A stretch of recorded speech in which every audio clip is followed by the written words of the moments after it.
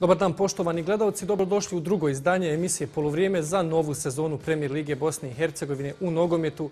Liga 12 je počela proteklog vikenda i za nas izuzetno zanimljivo kolo.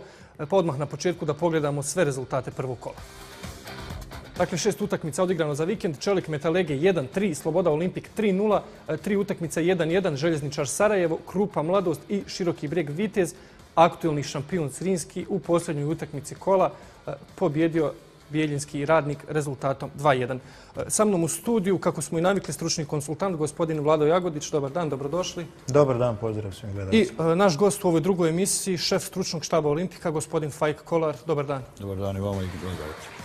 Iako su u prošloj sezoni zauzeli šesto mjesto, te nisu imali poraza na svom terenu, navijači Čelika imaju mnogo razloga za zabrinutost. Bojkot navijača, velika dugovanja i vrlo mali budžet teret su na leđima igrača i novog trenera Kemala Alispahića ali Spahić je poznat kao veliki radnik i obje ručke se prihvatio posla, ali nije mu lako jer deset dana prije početka Lige 12 imao je samo devet igrača.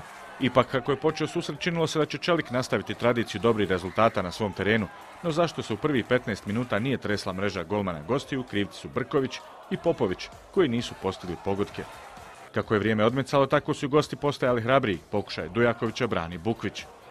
U 44. minuti je Jusić neoprezno startao nad Popovićem u svom 16-tercu. Napadač Metalegija je pao, a sudija je pokazao na bijelu tačku. Siniša Dujaković uhvatio zalet i pogodio za veliko slavlje zabranika Nermina Pašića. Na početku drugog dijela umalo novi šok za malobrojnu publiku na stadionu, ali obrukao se u dobroj situaciji Popović. Na drugoj strani brz je, ali ne i precizan Haurdić, pa je ostalo 0-1, ali ne zadugo. Centar šut Gorana Popovića lijepo je u pogodak pretvorio Daniel Brković. Čelik zatim umjesto da krene po tri boda prepušta inicijativu gostima koji su svoju bolju fizičku spremu iskoristili u finišu susreta i došli do dva pogotka. Asistencija ide Duraku, a strijelac je Popović za 2-1. Pobjedu je ovjerio najbolji pojedinac susreta Dujaković koji je postigao svoj drugi gol u ovom meču. Čeliku se ne piše dobro jer u narednom kolu gostuju Bijeljini pa onda dočekuju Sarajevo. Metalegi je upisao historijsku prvu pobjedu u Premier Ligi i s dosta optimizma sad dočekuju Krupu. Također Novajliju... Vidjeli smo dakle izvještaj sa još dvije posljednje utakmice ovog prvog kola Premier Lige. Dva nova Premier Ligaša. Jedan je odmah upisao pobjedu i to gostujuću, gospodine Kolar. Metalege pobjeda u Zenici. Čelik isto imao ovi kadrovskih problema i sve ostalo što prati te probleme. I mada onaj, govorimo onaj, kao i mi. No međutim, oni su igrali kući, imali su imperativ pobjede to je njima otežavalo onaj, da kažem, posao, jer su očekivali da će pobijediti. Međutim, desilo se što se desilo, ovi problemi su izašli na vidjelo, to jest onaj fizička nepripremljenost ekipe, mada vjerojatno kolega, kolega Alispajić uradio koliko je njegove moći, ali skupljati igrače preko noći, ono tako da je bilo vrlo teško. Ovi su momci iz Metalegija već dugo na okupu, doveli su tu još par igrača koji daju ton toj igri, disciplina ona ekipa koja koja će mnogima onaj zadat muke. Ova druga utakmica... Na redu su utakmice Sarajevo, Meta Lege i Olimpik Mladosti. Posljednju utakmicu šestog kola premijer Ligi u ponedjeljak su na stadionu Asim Ferhatović Hase odigrali Sarajevo i novi premijer Ligaš Meta Lege. Već u 17. minuti gosti iz Jajca su poveli nakon jednog kornera, a strijelac je bio Stakić. U 21. minuti 100% prilika za Ahmetovića nakon loše reakcije Rašića, no Helvida je spasio goste. Par minuta kasnije Almir Bekić je imao polu priliku, ali dobro je reagovala odbrana Metalegija. Nedugo nakon toga u šansi je i Duljević, ali nije imao snage za bolju završnicu u ovoj situaciji.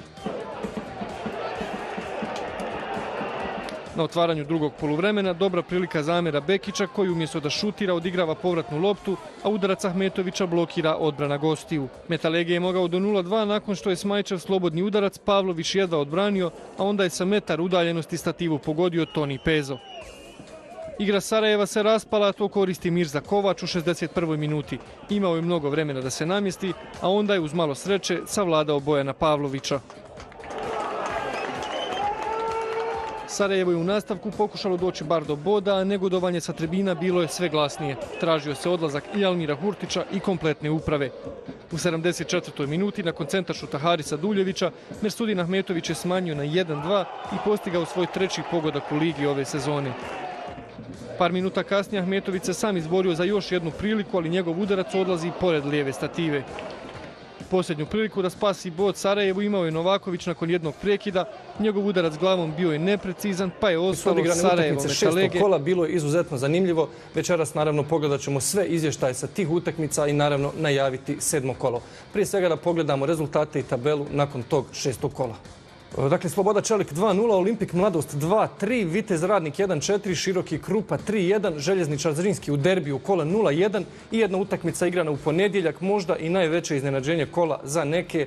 Sarajevo Metalege 1-2, prva gostujuća pobjeda e, za Metalege. Na tabeli Sloboda je prva zbog bolje gol razlike u odnosu na Zrinski. Po 13 bodova imaju obje ekipe. Mladost još uvijek nema poraza iz šest utakmica, dvije pobjede i četiri remija, dovoljni za 10 bodova i treću poziciju na tabeli trenutno. Što se donjeg dijela tabele tiče, odnosno druge polovine, željezničar je nakon trećeg vezanog poraza pao na deveto mjesto sa sedam bodova, a e, posljednje dvije ekipe su Čelik i Olimpik sa četiri, odnosno tri osvojena boda. Kada je lista strilaca u pitanju, nakon šest odigranih kola, Elvir Koljić je i dalje prvi sa sedam pogodaka, ali Marko Obradović je tu drugi sa četiri pogodka. Vidite da ima još nekoliko futbolera koji su postigli po tri. E, kao i svaki put u polovremenu imamo e, zanimljive goste. E, naravno, sa nama je uvijek tu naš stručni konsultant, gospodin Vlado Jagodić. Dobar dan, Vlado. Dobar dan, pozdrav svim gledalcima. I naš gostovo sedmični, Nedim Begović, trener Goška. Dobar dan, dobrodošli. Dobar dan, hvala, hvala na pozivu. Ja bih preporučio E, dakle, svi rezultati, Olimpik Željezničar 0-2 u subotu, Vitez Mladost 1-1 i Metalege Krupa, duel do novih premijer ligaša 0-2, e, Radnik Čelik 2-3 i dva derbija koja su zatvorila kolo. Sarajevo pobjedilo aktualnog prvaka Zrinskog sa 2-0, te Široki brijeg Sloboda 2-2. Na tabeli, interesantno, niti jedna ekipa u prva dva kola nije ostvarila dvije pobjede, šest bodova. Dakle, po četiri boda Sloboda, Krupa, Sarajevo i Željezničar. E, aktualni šampion Zrinski na šestom mjestu sa tri boda, dakle, e, jedna pobjeda i jedan poraz u uvodna dva kola. E, što se tiče drugog dijela tabele, vidite da su dvije ekipe na dnu, nemaju niti boda, to su radnici. Talege i dakle, Olimpik Mladost, Nedime, još jedna smjena je bila nakon prošlog kola, ponovo Sarajevski premijer ligaš, poraz od Metalega. Za oni koji ne prate možda iznenađujući, mada oni koji prate Premier Ligu, ja bih rekao da nije toliki šok što je Metalege slavilo na košu. Pa ne postoji utakmica koja se ne može pobijediti, to važi za svakoga. U, jednoj utakmici vi svakoga možete da dobijete, bez obzira o čemu se radi. Druga je stvar kako ćete završiti na prvenstvu, jel? na kraju kad se podvuče refa, što kažu. Metaleg ima jedan kontinuitet rada sa svojim trenerom već 4-5 godina insistiraju na pas igri, insistiraju na dobroj igri. Sad su se malo jačali, međutim to je gro igrača koji su igrali u federalnoj ligi. Tako da, da opet govorimo o, jednoj stvari koja je jako bitna za nogomet, to je kontinuitet rada. I vidi se da je trener bio jako i, i nakon početnih poraza on je bio vrlo optimističan, stalno je govorio da će doći taj rad i nagradilo je jeli, u, najbitnijoj utakmici, mislim najbitnijoj, najefektnijoj. Nisu imali sreće činjenice u prvih pet Tako je, tako. Igrali su vrlo dopadljivi, lijep futbal, tako da, da dobiti utakmicu jednu nije problem. Problem je jel, što, što je to Sarajevo, što zvuči ono, jel, odzvanja futbalski klub koji ne smije da izgubi takve utakmice, odnosno jel, oni moraju da se bore za, šampionsku titulu po, nekoj navici i takve utakmice ne smiju da se, ne, smiju da se gube.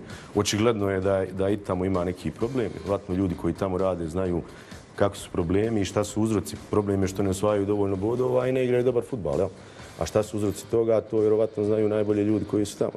Olimpik, mladost, premijer ligaška trenera. E, Slaven Musa, bivši trener Širokog brijega, između ostalog, dobar dan. Dobar dan, lijep pozdrav vama i svim gledateljima. Hvala što ste došli i naravno standardno već domaćin, ne gost, Vlado Jagodić, stručni konsultant. Vlado, dobar dan. Dobar dan, pozdrav vama i naravno gledalcima. Ja bih predložio e, da prije nego krenimo sa Drugo kolo premijer lige donijelo je duel dva nova premijer ligaša, Metalegija i Krupe, ali u Travniku, pošto stadion u Jajcu nema licencu za takmičenje u premijer ligi, stoga će Metalege sve svoje domaće utakmice, bar u prvoj polusezoni, igrati u Travniku. Prvo je zaprijetio Metalegi, ali su se napadači domaćih, konkretno Dženan Durak, spetljali u odsutnim momentima. Samo tri minute kasnije, jedan centaš od Sulejmana Smajića umalo nije završio u golu Krupe. A onda u 23. minuti Krupa dolazi u vodstvo. Pezo je neshvatljivo pogriješio i poklonio loptu Elviru Koljiću, a napadač Krupe je poklon objeručke prihvatio i lagano poentirao za 0-1. Bio je to rezultat na poluvremenu, a na samom otvaranju drugog dijela Bibić iz slobodnog udarca pogađa prečku. U 71. minuti dobra prilika za Krupu, ali pojačanje iz željezničara Enis Sadiković loše šutira glavom. Krupa je prijetila iz kontranapada, u jednom takvom obrukao se Ljubenović kada je iz sjajne prilike samo dodao loptu u naruče golmanu. Metalegija je napadalo i pokušalo doći do boda, a gosti su to kaznili u sudijskoj nadoknadi nakon kontre, koju je na sjajan način završio Perić za konačni Metalege Krupa 0-2. Evo vidjeli smo izvještaj sa posljednje dvije utakmice drugog kola premijer lige. Vitez Mladost 1-1. Slavene, kako ste vidjeli tu utakmicu, Vitez nakon tog boda u širokom nije uspio, tako da kažem, da nadoveže se i osvoji sva tri boda protiv Mladosti. Ja ću povezati obe utakmice, pošto je onaj, nemojte me sad krivo shvatiti, ali Vitez, Vitez i, i, i Mladost, Metalege, Krupa, mislim, te ekipe, kad se susretnu, mislim da nije iznenađenje nikakav rezultat. Iz razloga, zato što ja smatram da, te ekipe može čak bolje igraju na strani. Malo se zatvore, malo kontra, polu kontra, a već kad kuće igraju, treba nešto osmisliti, treba se malo otvoriti i onda se događaju ovakve rezultate kakvi je čak i mladost bila bliže pobjedi, a Metalege Krupa malo jedna ona greška i kasnije kontra za, za, za Krupu, tako da u tim i, i, inače u prvenstvu kad se budu susretali ovi klubovi koji su tu negdje po kvaliteti, mislim da će svakakve rezultata biti. Tako da nije primarno čak ni kad igrate kući, kad igrate na stranu. Upravo to čini mi se da je teže, kako vi rekao ste kada ste domaćin, teže osmisliti nešto i probiti eventualno nečiji bunker. Vlado, vi ste Krupu gledali uživo prvo kolo, je li vas iznenadila ova pobjeda u drugom kolu? Pa nije mi iznenadila. Mi smo u najavi rekli da, da je to susret dvije ekipe koje su tek sta, stekle status premijer ligaša. Naravno da je tu pokazivala se izrelost Metalegija, da li može ovjeriti pobjedu u gostima na način kako njima odgovara. Očigledno da nisu uspjeli jer Krupa ima i kraj i početak i sredinu. Dobro vođena ekipa sa klupe i mislim da Krupa će mnogima pomrsti račune, ali ćemo sad upravo vidjeti protiv radnika i Krupu imali snage za, za ove... Dobar dan, poštovani gledalci. Dobrodošli u četvrto izdanje emisije Polovrijeme za novu sezonu Premijer Lige Bosne i Hercegovine u nogometu. Iza nas izuzetno bogata sedmica, dva kola su odigrana, stoga je koncept današnje emisije nešto drugačiji. Nemamo drugog gosta u studiju, dakle imamo da pogledamo 12 izvještaja i da analiziramo i treće i četvrto kolo. Nemamo gosta, ali imamo stručnog konsultanta kao i svake sedmice, to je Vlado Jagodić. Vlado, dobar dan. Dobar dan, pozdrav vama. S obzirom da imamo jako puno posla, Odmah ćemo da pogledamo rezultate trećeg kola, pa ćemo se baviti analizom i tog trećeg kola. Dakle, to su utakmice odigrane prošli vikend, tačnije već u petak, Sloboda Vitez 1-0, zatim u subotu Krupa Radnik 2-2, Čelik Sarajevo 1-1, Željezničar Široki 2-0, Zrinski Olimpik 4-1 i u nedjelju kolu zatvorili Mladost i Metalege domaćini pobjedili sa rezultatom. Ponovo smo u studiju, ostale su da pogledamo još dva izvještaja sa utakmica treće kola Premijer Lige Bosne i Hercegovine, Mladost Metalege i Krupa Radnik. Iako je dosta igrača otišlo i došlo u ekipi mladosti, mora se priznati da je Ibro Rahimić odlično složio kockice tima i nakon dva gostovanja sa kojih je donio po bodu trećem kolu, zabilježio je triumf protiv Metalegija. Tim iz Jajca je nakon prvog triumfa sa Čelikom ubilježio dva uzastopna poraza. Nakon samo deset minuta kakanjci su stigli do vodstva, a strijac je bio Nemanja Asanović. Fejzić je odbranio udarac Husića, ali Asanović je ispratio akciju i ubacio loptu u mrežu.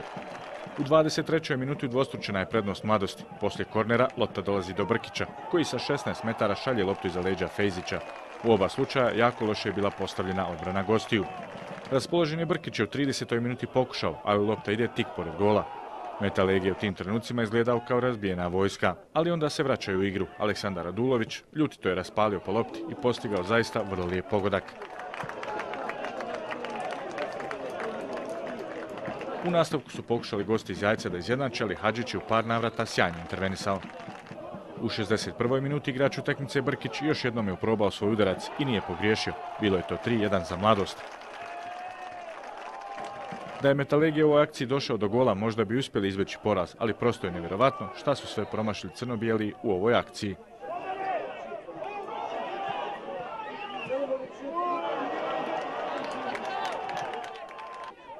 Uzvratila je mladost, ali okvir gola je bio saveznik gostiju.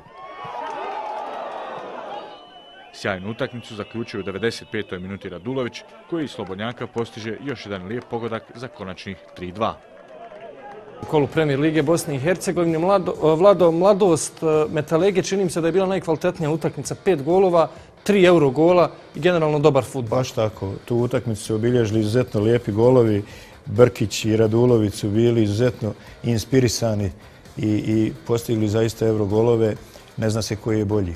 Sigurno da je mladost favorit bila na toj utakmici i opravdala je ulogu favorita, bez obzira što djeluje da je tjesan rezultat, ali evo mladost pokazuje kroz četiri kola odigrana da je pravom ono što smo najavljivali, a to znači zadržala kontinuitet u svemu i drži se dobro. Da, bilo je ovo prva utakmica. Mladosti, e, Metalege ima problem, evo tri vezana poraza, ima tešku utakmicu sigurno u narednom kolu, tako da će biti za Metalege dosta problema. Da, htio sam reći da je to bila prva utakmica mladosti na domaćem terenu, eto otvorilo se sa pobjedom. Pozdrav, dobro došli u emisiju Poluvrijeme, emisiju posvećenu premijer Ligi Bosne i Hercegovine u nogometu. E, u vikendu iza nas odigrano je peto kolo premijer Lige, šest izuzetno zanimljivih utakmica.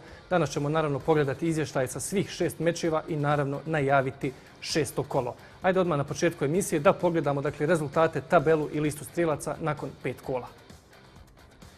E, Krupa Olimpik 2-0, Mladost Sarajevo 0-0, Čelik Široki 0-1, Zrinski Sloboda u derbiju kola pod Bijelim brijegom 2-0, e, Meta Lege Radnik 1-2 i najveće iznenađenje kola definitivno Željezničar Vitez 0-2. E, na tabeli Sloboda i Zrinski imaju po 10 bodova, Sarajevo je treće sa 9, Krupa, Vitez i Mladost su ekipe na četvrtom, petom i šestom mjestu. Što se drugog dijela tabele tiče, željezničari iznenađujuće tu na sedmom mjestu sa sedam bodova, Široki također e, iznenađujuće osmi sa šest na dnu Metalegije i Olimpik, dvije ekipe koji su sakupile 12 grupa igra sjajno, ali drugi ekipa Metalegija ima veliki problema jer su pisali četvrti uzastopni poraz, a drugi na svom terenu tačni u Travniku gdje igraju svoje utakmice. Tim iz Jajca je krenuo s pobjedom u Zenici, ali od tada su izgubili od Krupe, Viteza, Mladosti i Radnika, a tek sada im prestoje ozbiljnije utakmice. Prva od njih je gostovanje Sarajevu. Radnik je također loše ušao u novu sezonu i tek u petom kolu zabilježili su prvu pobjedu. Krenimo redom. U 15. minuti Obradović prijeti domaćem golu, no Fejzić je odbranio. U 23. minuti Popović je obišao golmana gostiju Lučića, a onda poslao loptu preko gola. Na pogodak se čekalo do 39. minute. Nakon ubačaja s desne strane, Pezo je neobičnu loptu poslao u vlastitu mrežu i radnik je stigao do vodstva. U nastavku je Metalege krenuo ofanzivnije pa je već u 56. minuti došao do gola. Smajić je realizirao penal nakon što ga je skrivio golman radnika Lučić.